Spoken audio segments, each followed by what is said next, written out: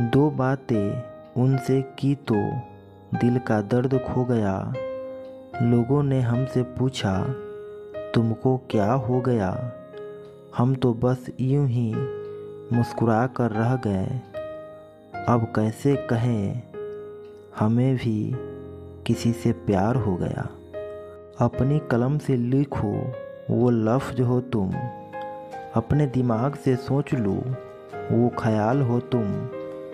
अपनी दुआओं में मांग लो, वो मन्नत हो तुम।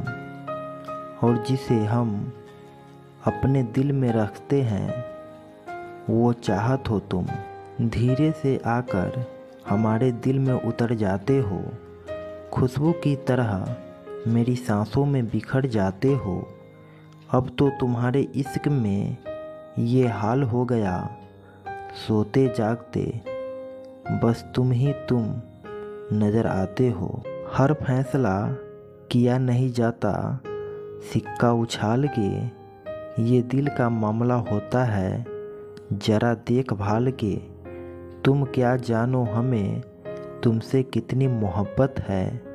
कहो तो अभी रख दो अपना कलेजा निकाल के।